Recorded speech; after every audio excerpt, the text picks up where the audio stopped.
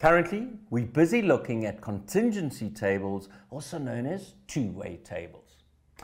Now, some time ago, somebody in one of my classes wanted to know how many boys and how many girls had blue eyes, brown eyes, and green eyes. Why they wanted to know this, I have no idea. But they gazed into the eyes of everybody in their class and wrote down their findings. Okay? And this is how they put their findings on a two-way table or a contingency table. So let's just have a look at this. So this young girl gazed into the eyes of 24 boys, of which three had green eyes, 16 had brown eyes, and well, we don't know how many had blue eyes. She also gazed in some girls' eyes. We don't know how many girls she looked at, and we don't know how many of those girls had green eyes. But we do know that 15 had brown eyes and 2 had blue eyes. She, we know that there was a total of 4 students who had green eyes. Okay, number one, complete the table above. Remember, to complete a two-way table or contingency table, we've got to find one, uh, a table with, or a row or a column where there's only one missing value. So let's have a look. Looking at my first row, I can see I've got one missing value. Okay, I've got 24 students um, or 24 boys who uh, we questioned or gazed into their eyes. 24, and of those, three had green eyes. Of those, 16 had brown eyes, which leaves us with an answer of five. So we know five of our boys had blue eyes. Right, this row we can't complete because there are two missing values. This row we can't complete because there are three missing values. So let's start looking at our columns. At this column here, we got five boys who got blue eyes, two girls. That gives me a total of seven of the students that we looked at had blue eyes. Over here, brown eyes, 16 boys had brown eyes, 15 girls had brown eyes, a total of 31 had brown eyes. Green eyes, three boys. How many girls? A total of four means one girl had green eyes. Now, we can't work out these totals looking at our horizontal uh, columns. Why? Because we've got two missing values. But we can fill in these values when we look across horizontally. Girls, 2 plus 15 gives me 17, plus 1 gives me 18. Total, 7 plus 31 is 38, plus 4 is going to give me 42. Let's check if everything's correct. When we add that up, 5, 16 is 21, 24. 2, 17 and 1, 18. 7, 31 and 4, 42. Let's add up downwards. 5 and 2, 7. 16 and 15, 31. 3 and 1, 4. 24 and 18 gives me 12, carry 1, 42. Because everything adds up horizontally and everything adds up vertically, guys, I've got this perfect. Now we can answer questions on it. The question now says, using this contingency table, determine the probability of a girl having blue eyes. Okay, how many girls are there? There are 18 girls. How many have blue eyes? We've got two. When I simplify, you got a 1 in 9 chance of selecting a girl at random that will have blue eyes. Next question. What is the probability of a boy having brown eyes? How many boys were there? There were 24 boys.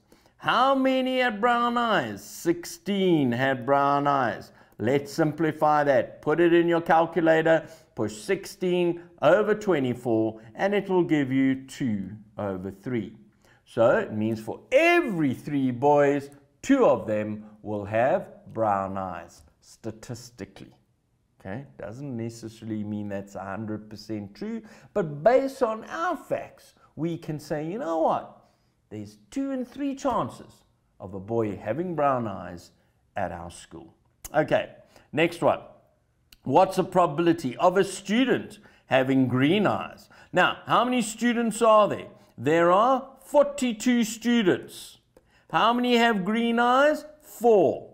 Four out of 42. When we simplify that, we're going to get 2 out of 21 chances of selecting a, student at random that'll have green eyes. Okay, interesting, isn't it? Let's have a look at another one. I once saw this question come up, um, or a similar one come up, and so I've made this question, and it really makes you think, hey? It really does. But if you can do this question, you can do any question on tables. In fact, I don't even think you'll get a question like this in matric. But if you understand this, guys, contingency tables or two-way tables will be no problem to you. Let's have a look. In the 1980s, Rastafarian music became very popular. The Rastafarians also used the colors red, green, and yellow to identify themselves. Okay. In a group of 53 students, 20 preferred the color yellow of which 14 were girls. 12 boys said green was a better color, which meant there were 15 in total that liked the color green. 14 girls liked red. With the use of this information above, complete the table below. Okay, so here is my table. It's got nothing in it. All our other tables had some figures, and all we had to do was find the missing ones. This table's got nothing, but it has given us some information in the paragraph above. So let's have a look at it. In a group of 53 students, how many students? Total of students 53.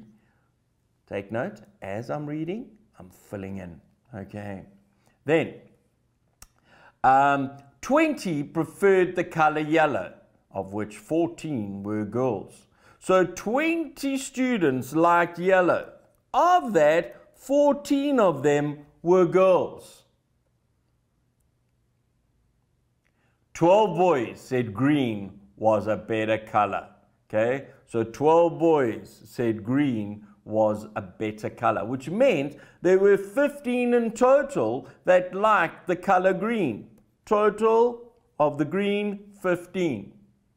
14 girls liked red. Okay, 14 girls liked our red color. Now we have to complete this table. So let's fill in, folk, all the missing bits.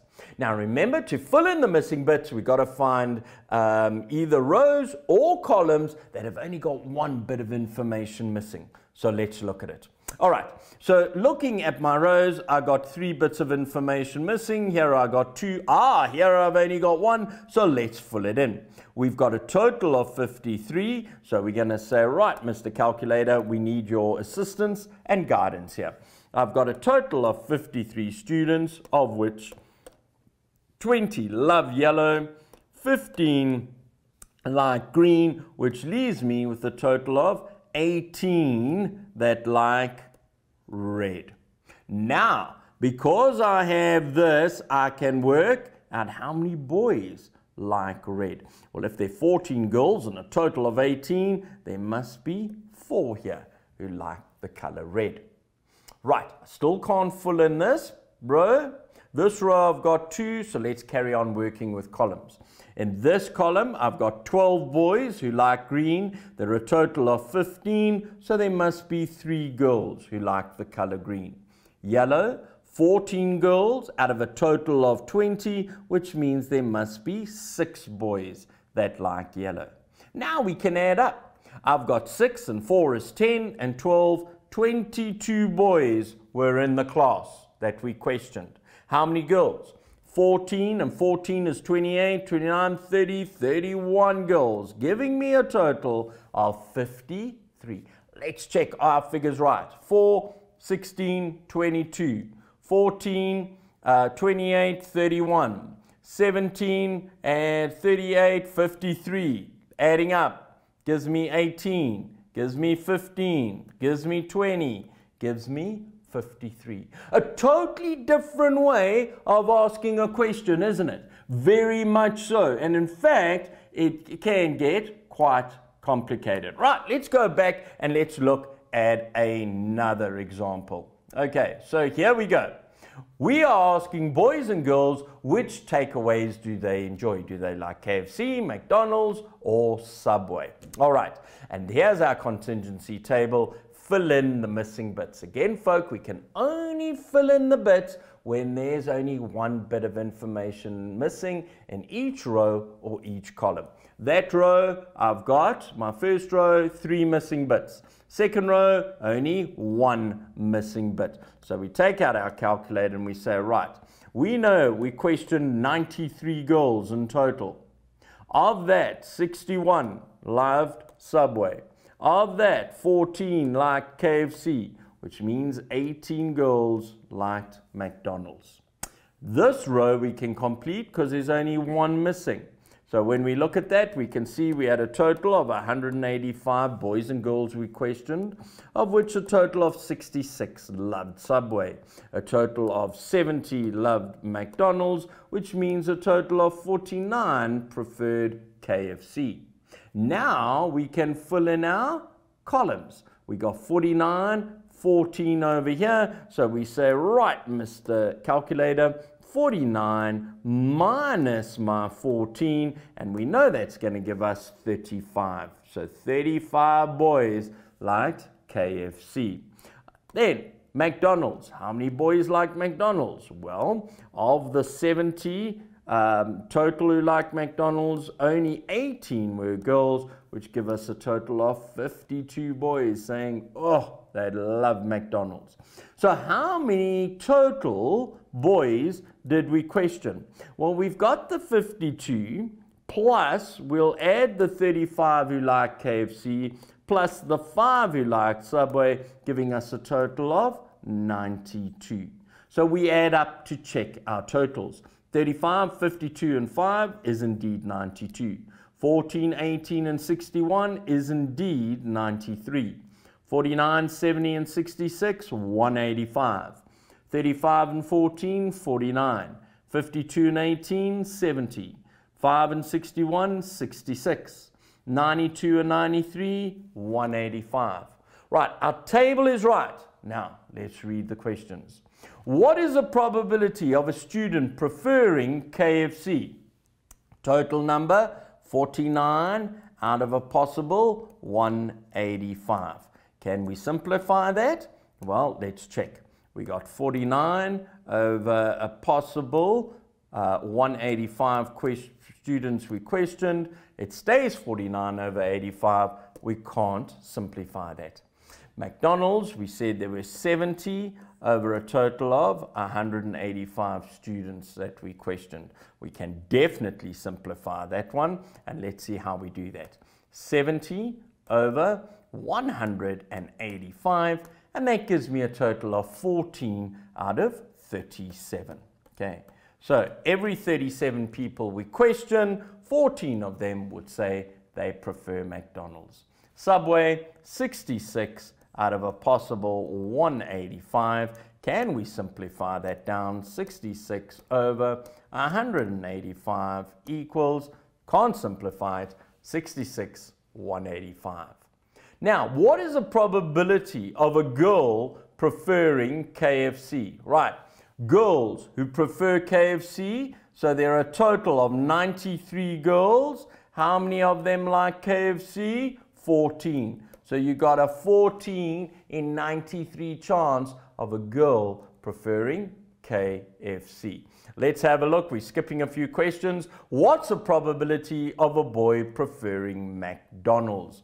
So let's have a look. All our boys, we've got 92 boys. How many of them like McDonald's? 52 of them. And then we need to simplify it again. So I'm going to say 52 over possible 92 leaves me with 13 over 23. So it simplifies to 13 over 23.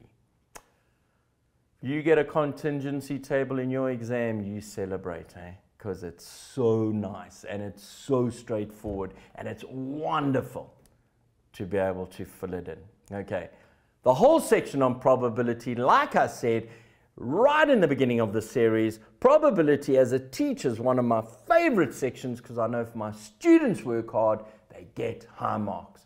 Folks, that's it from me. We will see each other on the screen, I'm sure, in time to come. Until then, study hard, stay well, and cheers.